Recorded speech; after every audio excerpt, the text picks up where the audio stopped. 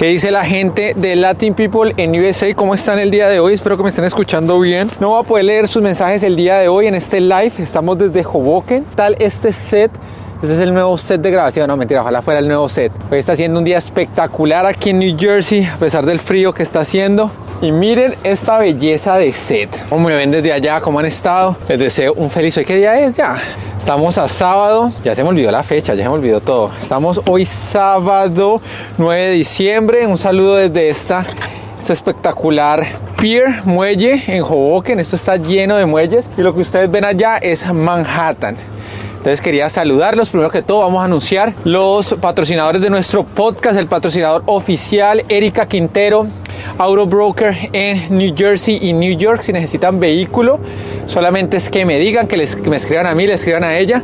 Ella les consigue vehículo, pero lo más interesante de todo es que pueden conseguir el crédito para el vehículo por medio de ella sin, eh, solamente con el pasaporte de, sus país, de su país. No importa si no tienen historial crediticio, incluso si es negativo, puede ella ayudarles a conseguir el, el vehículo, el crédito para comprarse el carro que ustedes necesitan. Y hablando de ese tema, esta semana estuvimos publicando las últimas subastas del año en New York. Para los que me preguntan sobre las subastas en New Jersey, la última fue en octubre, no han habido más subastas públicas. Recuerden que siempre estamos hablando de subastas públicas, ya que hay otras que son privadas, pero nosotros publicamos las públicas, que puede ir cualquier persona, que es gratuito, pero tienen que tener ciertos requisitos para ir. Yo los mencioné en un video. Aplica lo mismo para los de New Jersey. Entonces ahí les dejo como, como ese dato. Entonces, hablando de ese tema, no es. Yo sé que a la gente le gustaría como que vamos allá, vamos a encontrar un carro de 500 dólares, un carro de 1000 dólares, 3000 más o menos. Y ese fue el carro y nos lo llevamos. No es tan sencillo. Hay que aprender, hay que saber qué, es lo que se oferta, hay que saber cuál carro, cuál, cuál carro sirve, cuál carro no. Tienen que tener en cuenta muchos factores que no es como que van y el carro está ahí y ya.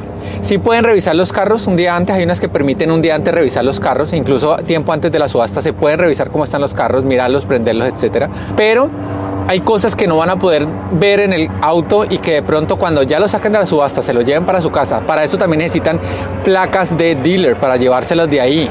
Entonces esto es más que todo para dealers y para eh, mecánicos que ya saben del tema, que me ven aquí, que se conectan. se, los, se los publico a ellos para que estén pendientes y tengan, encuentren buenos autos. Para los que van por primera vez, pues vayan y conozcan. Pero la mejor recomendación, si tú acabas de llegar acá y no eres ni dealer, ni eres mecánico, ni tienes mucho conocimiento sobre vehículos, es que te compres un carro en muy buenas condiciones. Puedes irte a comprar un carro barato de 3 mil, 4 mil, 5 mil dólares hasta 6 mil o 7 mil que eso cueste. Obviamente son carros menos del año 2015, pero que vas a tener que saber que si vas a tener que reparar algo, acá la mano de obra es súper costosa. Entonces, ese tema ténganlo en cuenta, que no solamente son los 5 mil que lo compran, sino que habrá que hacerle unos arreglos de 2 mil dólares, ya se les aumenta eso y eso que es una parte de lo que puedes arreglar porque no puedes ponerlo otra vez completamente nuevo ni en perfecto estado porque va a costar, aquí, aquí simplemente se dice jonquearlo se lo, mejor eso botarlo porque cuesta mucho. Pero la mejor decisión que pueden tomar, porque yo ya pasé por esa decisión, yo compré un carro de 3.700 dólares, 2012 eh, creo que era 2013 y la verdad fue que lo vendí al, al, año porque pues er, yo me le metía, se le dañaron que las cosas de atrás, que se le dañó el exhausto, que se le dañó el tatatá y al final de cuentas, al final el carro de 3.500 terminó costando 6.000, 7.000 y e incluso cuando lo vendí lo tuve que vender menos de lo que lo había comprado, a pesar del dinero que le había metido. Y los dolores de cabeza porque tuve que llamar mecánico en ocasiones, tuve porque se les dañaba un coso encendido, me acuerdo una vez, llamar al mecánico hasta fuera hasta allá, 150 dólares, eh, cositas así que si uno compra mejor un carro en buen estado, se coge esos mil, dos mil, eh, incluso cinco mil dólares o seis mil dólares que tienes, los pagas de down payment y organizas bien tus cuotas y te compras el carro que tú querías, un carro en muy buenas condiciones, 2015 para arriba, pues sale para pintura, mi gente. O sea, es mucha mejor la opción, al final gastas mucho menos, segundo vas creciendo tu, tu eh, ¿cómo dice? Tu historial crediticio, que aquí yo no sabía que era tan importante cuando llegué, me doy cuenta ahorita que quiero sacar préstamo para casa, que quiero sacar sacar préstamo para un negocio que quiero montar, pues no, no te lo van a dar si no tienes un historial crediticio. Si yo hubiera comprado carro hace tres años, así en crédito, a estos tres años ya tendría un historial crediticio por más de 700 puntos y ese es el consejo. Ese es nuestro patrocinador oficial, Erika Quintero, que necesitan carro en New York y New Jersey, por favor me dicen, ahí le escriben Y bueno, ¿qué vamos a seguir? Hoy, ¿dónde estoy? Déjenme leo los mensajes porque desde aquí no puedo ver qué mensajes hay. Y acá tengo un dron que vamos a poner a volar ahorita por acá, a ver qué vistas podemos tomar desde acá. Y aprovechando también esto del podcast, este, pues aprovecho para contarles a varios países de Sudamérica que ya están incluidos en la lista de visas de trabajo, pues Colombia lo acaban de incluir entre los países que se va a entregar 20 mil visas de trabajo. No sé si vieron la noticia, lo cual es muy bueno porque da la oportunidad de venir a trabajar acá y una vez que ya vienen a trabajar acá, pues si les gusta se quedan y es muy, muy fácil conseguir el tema de la visa de trabajo. Lo más difícil, por así decirlo, es conseguir un empleador, pero un empleador sí quiere decir cualquier persona que tenga una empresa acá en Estados Unidos. Y se entra en un proceso que lo soliciten para trabajos agrícolas o no agrícolas. Ahorita el tema se está dando mucho es en Miami. Los que quieran ir a vivir a Miami necesiten eh, y necesitan su permiso de trabajo porque se fue mucha gente en, en Florida por la nueva ley y ahorita de pronto va a pasar lo mismo en Texas con la ley que hablamos que era la SB 4 que asusta pues asusta el tema de que ya te van a tener que pedir tu situación migratoria si no tienes una situación migratoria definida pues y tienes una orden de deportación pues te van a devolver estas visas te ayudan, ayudan mucho a los que quieren venir a trabajar acá a Estados Unidos. Sin embargo, si ustedes quieren hacer el proceso de visa, quieren averiguar, nosotros estamos ofreciendo consultas para que ustedes revisen y ya se puede dialogar con un empleador que esté dispuesto a contratarlos y ayudarles con el proceso acá en Estados Unidos, los cuales están buscando mucho porque pues no es lo mismo eh, contratar un profesional acá los ingresos que, requiere un profesional acá que se ha graduado de MIT, se ha graduado de Harvard o se ha graduado de, de estas universidades, que contratar uno que esté en Colombia. Entonces, en ese sentido, es mejor y se abren mucho las puertas a los colombianos que quieran venir a trabajar acá. Si ya vieron la noticia, yo se las puse ahí en el blog para que vieran y para que pues cualquier cosa nos escribieran. Esa es la noticia para los colombianos, pero también a otros países que estaban incluidos en, ese tema. Y, hablando pues de esto. Lo otro es que vamos a ver si podemos ir a New York, esta época decembrina. Obviamente New York es una locura para los turistas, también para los que tienen negocios acá, pues hay mucha cosa para vender. Tuvimos ahí un anunciante que vende masa para pan de bono, ahí se los colocamos, gracias a toda la gente que le escribió y le compró en el sector de New Jersey, en Elizabeth. Y ahora tenemos un nuevo anunciante que acabo de poner que vende oro. En esa época de comprar oro por todas las teorías de conspiración que han habido últimamente sobre la economía estadounidense y este tema de, de lo que ha pasado. No sé si vieron que cada vez se, el, récord de inmigrantes por la frontera cada vez es, o sea, cada vez lo rompen. o sea, uno dice, uy, no, no, no, más de, 12, más de 5 mil personas al día no va, después ya fueron 8 mil personas, después 10 mil, y ahorita hay 12 mil personas esperando en una línea en la frontera para entrar la única diferencia es que están entrando. Están entrando obviamente con una visa que la gente dirá, no, es que de una se les da todo. No, pues se les da una visa, sí se les da una visa de trabajo y se les da muchas cosas, pero esa situación no va a ser siempre así.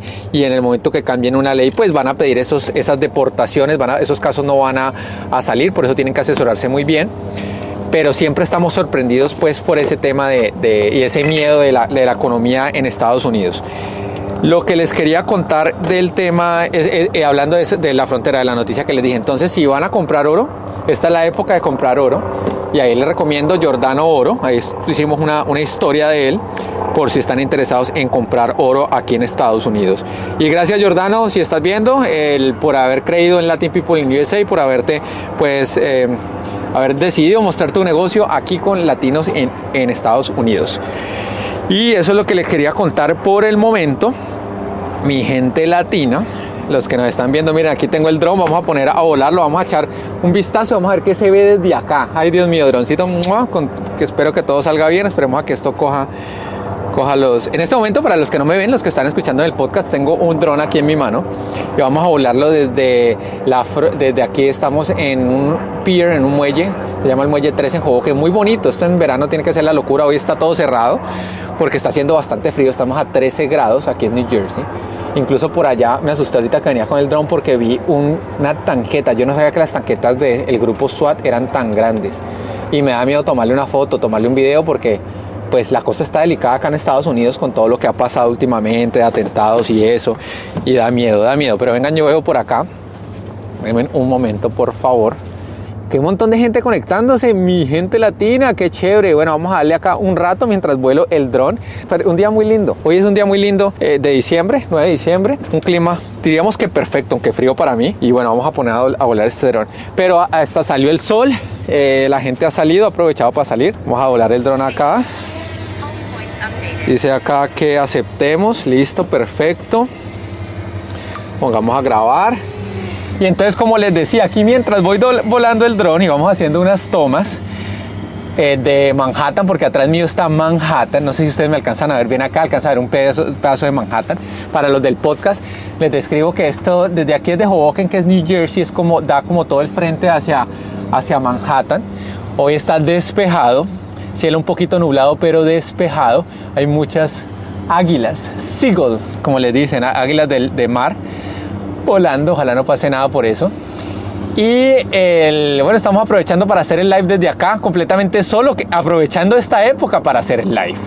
Porque es que esto en verano es la locura, esto se llena y es impresionante la cantidad de gente acá. Entonces, en este momento, mientras me escuchan el podcast, estoy volando un dron, mientras estoy tratando de hacer el live con ustedes conectado y tratando de hacer todo a la vez, yo solito. Ahí vamos, ahí vamos.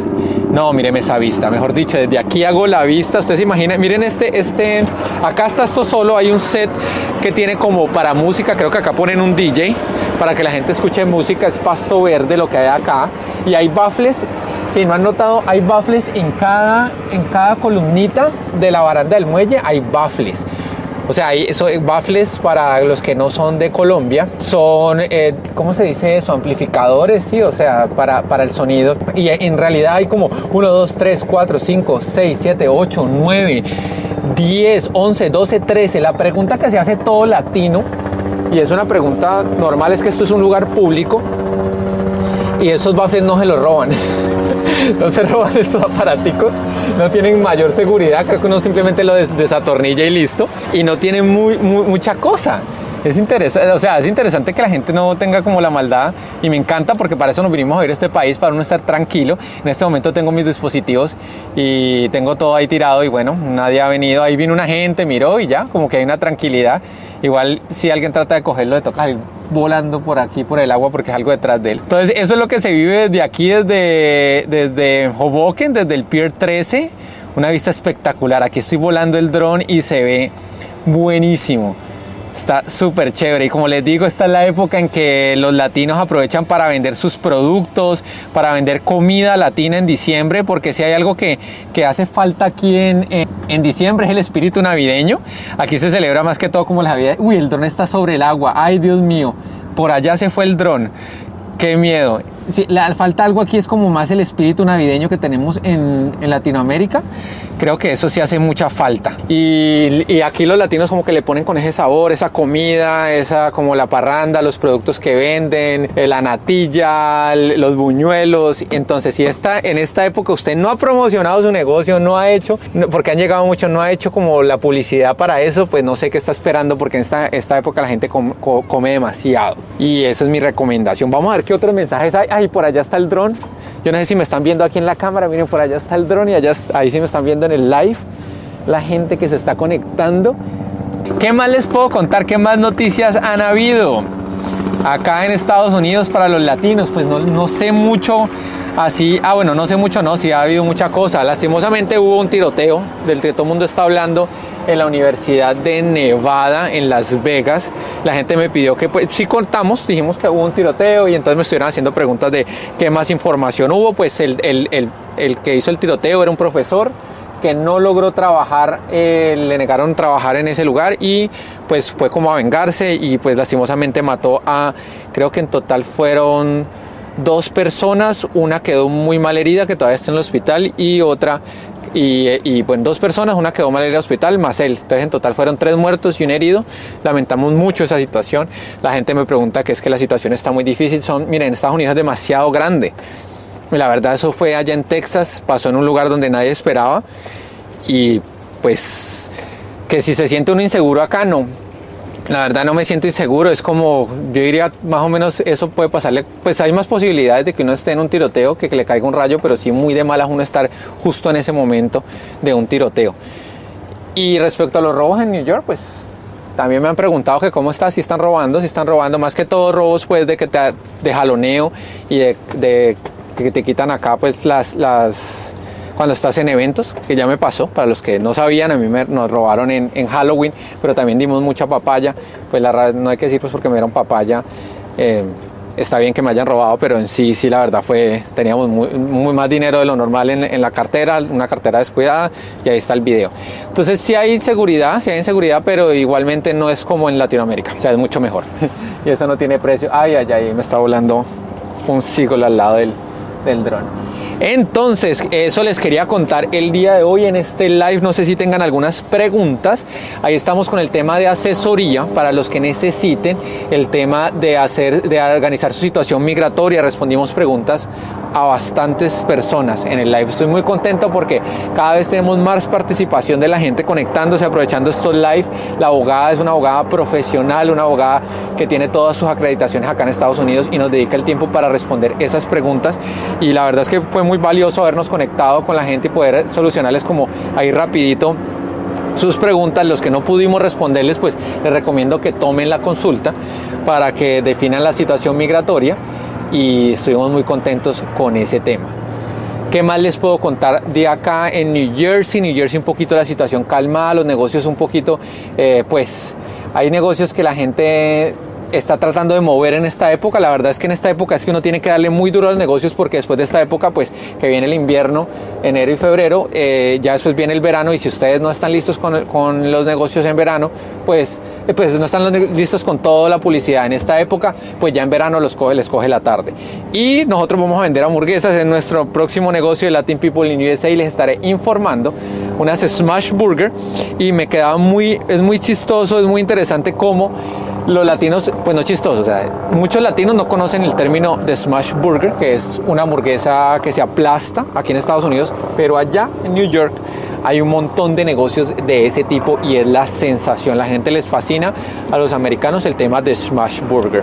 Nosotros queremos intentar hacer el smash burger por un tema criollo para que pues para darle un, como un tema de innovación a esa revolución del smash burger y vamos a comenzar con nuestro negocio de hamburguesas y lo estaré anunciando por aquí porque acá hay que hacer varios negocios en Estados Unidos, aprovechar todo tipo de ofertas que le ofrecen para uno poder hacer negocios acá en Estados Unidos.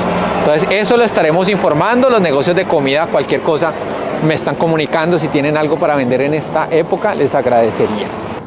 Hola guapo, uy guapo, ah, ya, ya, un seguidor fan aquí. ¿Sabes hasta cuándo se puede ir a ver la estatua? ¿De qué mes a qué mes abren para bajar en la isla? Claro que lo sé.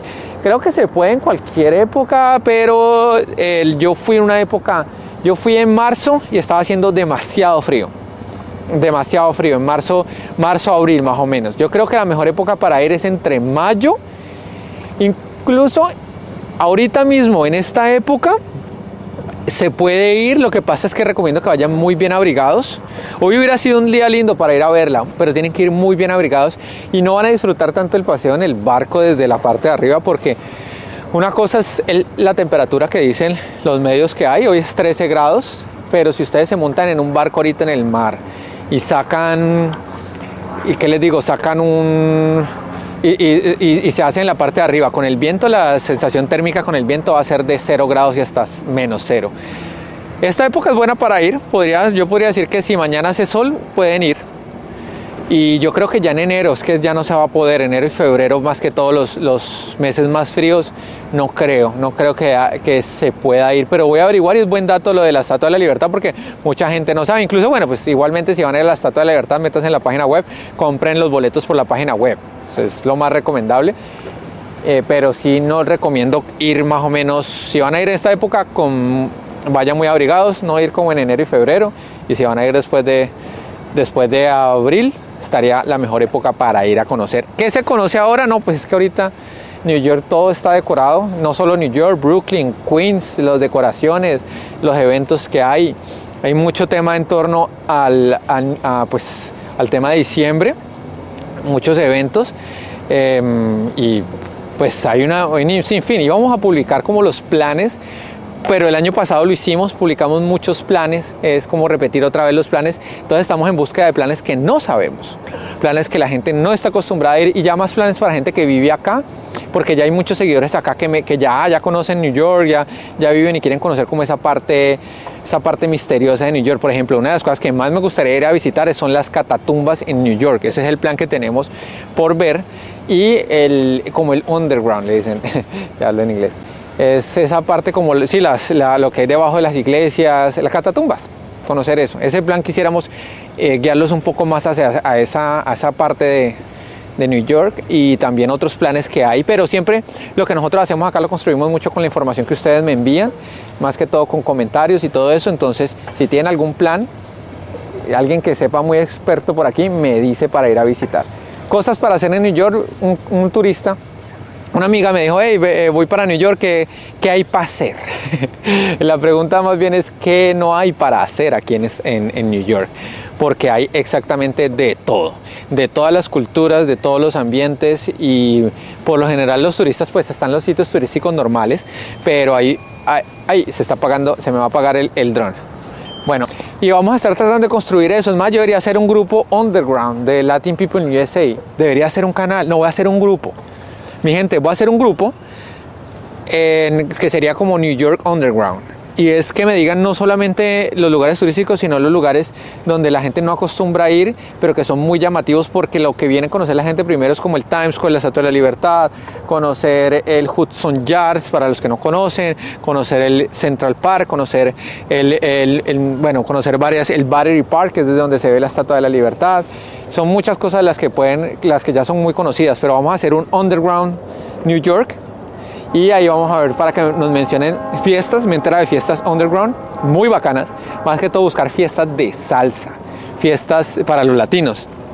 Porque quedé nulo con ver lugares bien típicos de salsa. Sé que los típicos de salsa están en Queens, en el Bronx, pero tenemos que empezar a hacer una guía de eso, más underground, irnos más como a fondo. Eso es lo que yo quiero hacer. Entonces, mi gente, bueno, disfruté con ustedes. Son las 4 y 11 de la tarde y esto parece que fueran las 6. Ya se nos está yendo. El sol ya se ocultó más o menos. Y esto ya casi no se va a empezar a ver qué es lo que hay aquí. Entonces me alegra haber disfrutado con ustedes el día de hoy, me alegra el live que hicimos el día de ayer.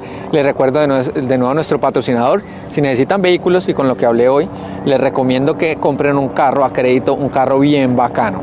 A diferencia de Sudamérica, los carros acá son exageradamente baratos son muy económicos. O sea, les digo, unos carros de última gama de 20, 30 mil dólares. Y si ustedes están ganando un buen dinero, pues mi gente, ¿para qué van a meter en un carro usado, viejito, invertirle 6 eh, mil, 10 mil dólares? Si pueden comprar uno nuevo, invertir esos 10 mil y después irlos pagando a medida que ganan dinero. Ese es mi consejo con Erika Quintero para que compren vehículos. Tenemos muchos vehículos, hay muchos vehículos disponibles. Tenemos un canal aquí en el, en el grupo en la página para que se metan donde estamos publicando los vehículos que hay, salen unos carros muy buenos, ya se han ido la mayoría. Estos salen y los compran porque es que son carros que están en muy perfecto estado, no es como que vengan, vayan y véanlos, ay, les falla algo, no, estos carros son como nuevos. Acá les hago una tomita, una última tomita desde donde estoy para que lo vean, para que observen la belleza del lugar donde estoy, aprovechando que está solo en esta época y ahí está el ferry que lleva a la gente hasta allá y listo. Bueno, mi gente, los dejo ahí. Me despido. Un saludo muy grande. Picos, besos. Recuerden que si necesitan promocionar sus negocios, tenemos una promoción. Me escriben. Qué rico estar con ustedes acá.